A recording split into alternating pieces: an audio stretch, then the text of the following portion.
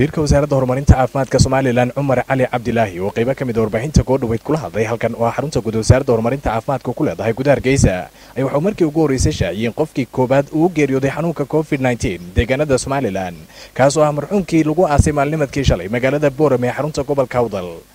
Waxaa jiray lix iyo soddon kays oo u dambeeyey oo aanu dirnay dhiigoodii shalay baa na soo gaadhay xogtii xogtaasi markaa waxaa ka soo baxay qodobo afara oo aan u baahannahay dadka muwaadiniintu inay aad iyo aad ay u fahmaan. Waa qodobka koowaad dadka laga qaaday magaalada hargeysa gudaheega saambalku ama muunadda dhiigga ahi waxay ahaayeen labaatan qof.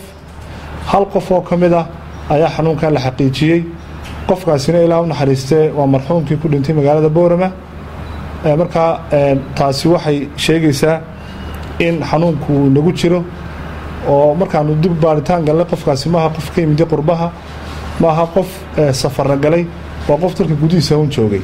Marka arrintaasi waa arrin cusub oo u baahan taxadirkeeda iyo inaynu u qaadanno inay tahay xanuunkaas jiritaankiisu yahay xaqiiqo una baahan inaynu fahamno in ay tahay in taxadirkii hore aynu ku jirnay aynu libilaabno muwaadiniintuna ay muxuu ahaa tallaabooyinkii lagula talinayay wasaaradda caafimaadku iyo tilmaamihii iyo awaamirtii ka soo baxaysay guddida qaranba ay sideeda u qaataan xoojiyaan lana joogteeyo.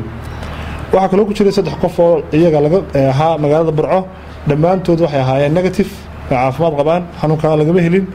Waxaa jiray hal qof oo isna ka yimiday magaalada berbera oo isna hargeysa ku sugan hadda oo wasaaradda caafimaadka gacanta ku hayso. Qofkaa markii baaritaan loo sameeyeyna waxaa la ogaanay isna xanuunkaa inuu qabo. Haddana wuxuu ku jiraa gacanta wasaaradda caafimaadka xaaladiisa caafimaadna aad bay u fiican tahay. Waxaa kaloo jira labayo toban qof oo ku jiray karantiinka oo aynu gacanta ku haynay oo dadkii diyaarada diyaaradda etoobiya inta la socdaya hal qof ayaa ku soo biiray oo iyagana ah positive. Alxamdulilah marka horeba gacantaynu ku haynay xaaladiisuna way degan tahay.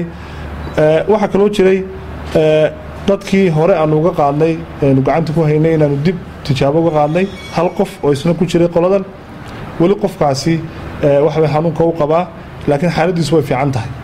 Marka halkaa waxaan ku jira in maadaama dadka aynu ka qaadnay dhiiggu ay ahaayeen dad magaalada hargeyso tiro badan oo dadkii xanuunada neefmareenka u jiifay cusbitaalka guud ama cusbitaalada kale dadkii wasaaradda caafimaadka la soo hadlay ee u baahnaa in baaritaan lagu sameeyo iyo qof ka yimiday magaalada berbera oo halkan markuu yimiday xanuunka soo sheegay oo aanu karantinimeen oo laga qaaday arrintaas waxay sheegaysaa inuu xanuunku uu gudbay heer cusub oo ah inay jiri karto amaba ay jirto xanuunku inuu fidayo.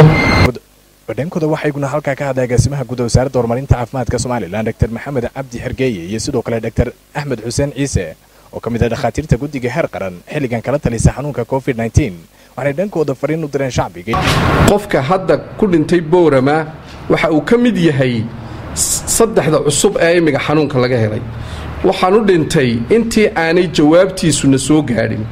Marka wuxuu gelayaa dadka laga helay xanuunka.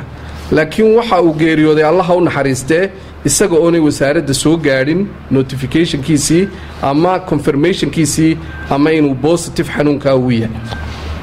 Marka waxaad halkaa ka arkaysaan in nambarka dhimashadu uu yahay hal qof oo ah saddexdii dambe oo geeriyooday isaga oo aanayna soo gaadhinba jawaabtiisii marka waxa aynu daatada u dhigaynaa inay sagaal qof ilaa somaliland iminka aynu marayno saddex ka midihi bogsiime ay yihiin hal ka midihina uu dhimasho uu yahay ilaahay ha u naxariistee waxaan doonayaa inaanan bulshada aan ku wacyigelinno in kaysaskii hore dhammaantood ay ahaayeen kaysas dibadda inooga yimid.